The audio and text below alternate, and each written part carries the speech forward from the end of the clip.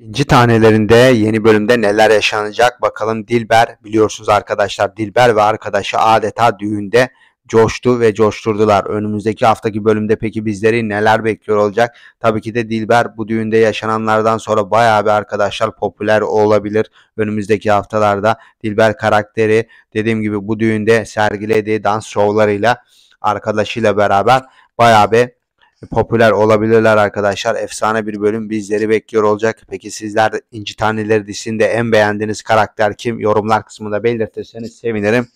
Dediğim gibi efsane bir düğündü. Tabii ki de düğünde silah sesleri duyulmasa daha iyi olacaktı ama maalesef ki böyle olaylar da yaşanıyor. Tabii ki de bu Cihan ve arkadaşlarının operasyonuydu. Tabii ki de bu operasyondan Cihan'ın haberi yoktu. Ama dediğim gibi arkadaşlarını kurtarmak için yapılmış bir şey. Bakalım neler yaşanacak bundan sonra. Detaylar geldikçe de sizlerle paylaşacağım. Sağlıcakla kalın.